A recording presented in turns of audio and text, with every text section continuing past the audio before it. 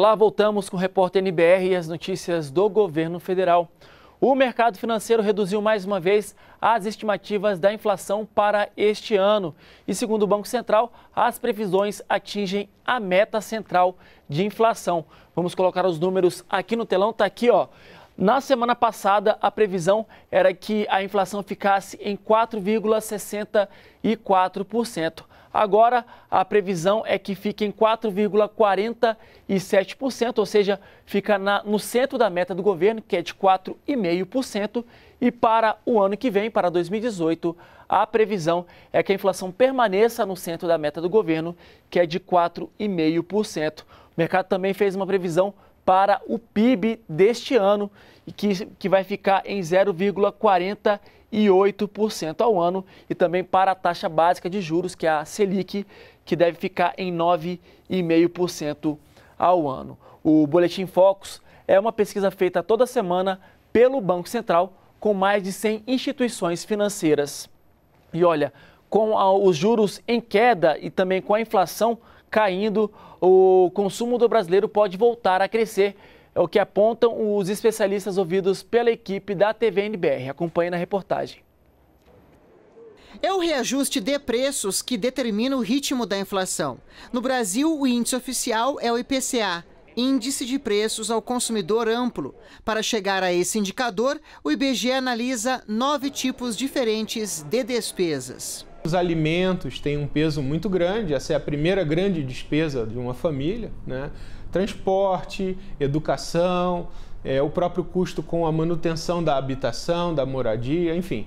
Você tem aí um conjunto de despesa, de, de grupos de despesa que na verdade compõem essa despesa maior da família. Em 2016, a despesa alimentação e bebidas registrou alta de 8,62%, abaixo dos 12% registrados em 2015, o que permitiu que a inflação fechasse o ano passado em 6,29%. Contribuíram para a queda os preços do tomate, da batata inglesa e da cebola. No supermercado dá para olhar que assim, até o feijão deu uma diminuída. Desde 2015, quando a inflação chegou a 10,67%, o reajuste dos preços vem caindo no país. Agora em janeiro, o aumento registrado foi de 0,38% em relação a dezembro do ano passado. A menor variação para meses de janeiro desde que o IBGE começou a fazer os levantamentos há 38 anos.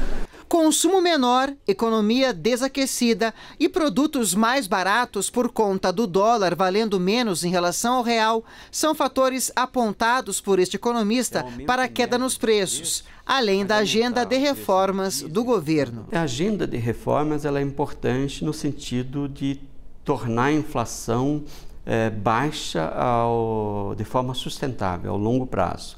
É, elas vão, vão contribuir de forma importante para manter a inflação baixa. Com a inflação perdendo o fôlego, os juros também começaram a cair. De novembro do ano passado a janeiro deste ano, o Banco Central reduziu a taxa em 1,25 ponto percentual. Atualmente, a Selic está em 13% ao ano. Juros menores significam crédito mais barato e consumo maior, já que as prestações tendem a ficar menores. No fim deste mês, o Banco Central se reúne mais uma vez. Para a Associação Comercial de São Paulo, a tendência é de mais uma redução. Para determinados produtos de maior valor, a taxa de juros é muito importante. Então, a expectativa de que os juros vão continuar caindo uh, a, acaba beneficiando o comércio desses bens. E a queda da inflação é importante para os setores como supermercados e, e bens de menor valor, porque significa menor pressão sobre a renda do consumidor. Então, a expectativa do comércio é que, a partir do segundo semestre, já se possa começar a crescer muito lentamente as vendas. Está havendo uma série de mudanças importantes, uma inflexão positiva na economia brasileira e que acreditamos que nós devemos deixar isso consolidar-se para aí sim analisar o crescimento do PIB. PIB no final de 16, desculpe, 17 comparado com 16, teremos aí um crescimento de 2% durante o correr do ano. É, é muito importante isso porque elimina o efeito estatístico de estarmos saindo de uma base baixa. Portanto, o país sim já está numa trajetória de crescimento e vai crescer bem esse ano a segurança no Espírito Santo está voltando ao normal. A informação é do ministro da Defesa, Raul Jungmann, que falou com a imprensa neste domingo após reunião com o presidente Michel Temer no Palácio do Jaburu. Quem tem as informações para a gente ao vivo no Palácio do Planalto é a repórter Mara Knupp. Oi, Mara.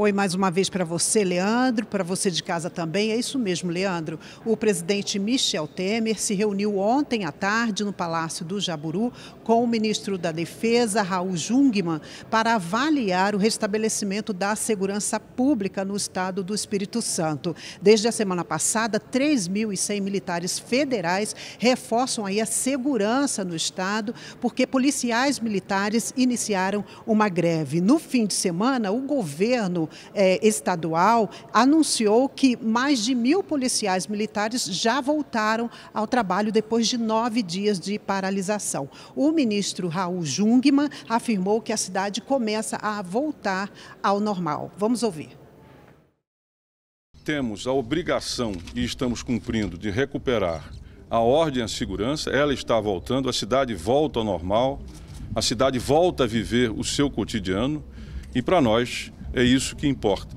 As forças locais, elas tiveram um processo ilegal de paralisação. E nesse quadro, as Forças Armadas foram empregadas e estão obtendo como resultado aquilo com que se tinham comprometido. A ordem e a segurança estão de volta. E ainda de acordo com o ministro, as tropas federais só vão deixar o Espírito Santo quando a situação estiver em plena normalidade. Ele também disse que a segurança nos estados é de responsabilidade dos governos locais, mas que o governo federal estará sempre pronto para atuar quando necessário. Vamos ver.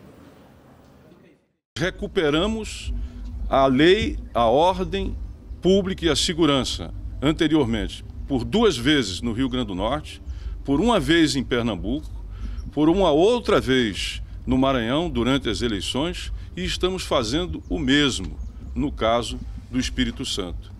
E reitero o nosso recado: nós seremos inflexíveis e absolutamente determinados em não permitir que a desordem e a insegurança venha a imperar.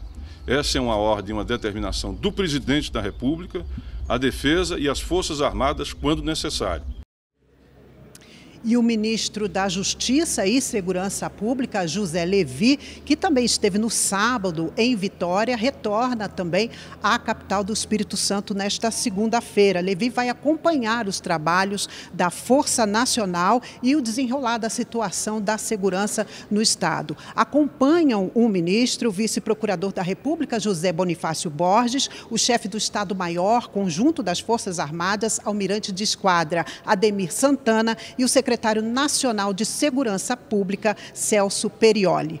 Volto com você, Leandro. Toquei, Mara. Obrigado pelas suas informações. E olha, o horário de verão termina no próximo domingo, dia 19, quando os relógios devem ser atrasados em uma hora nas regiões sul, sudeste e centro-oeste do país. A medida está em vigor desde outubro. A mudança de horário é adotada no Brasil desde 1931 com a ideia de economizar energia no país. A meta é aproveitar a luminosidade natural do Sol, que é maior na época do verão, para gerar menos consumo de energia nos horários de pico. A previsão do governo é de que o horário de verão deste ano gere uma economia de mais de 147 milhões de reais. No ano passado, a adoção do horário gerou uma economia de 162 milhões de reais. Bom, nós ficamos por aqui, voltamos às três da tarde na próxima edição do Repórter NBR. Acompanhe as novidades também em nossas redes sociais. Uma boa tarde para você, um bom almoço e continue com a gente aqui na TV NBR, a TV do Governo Federal.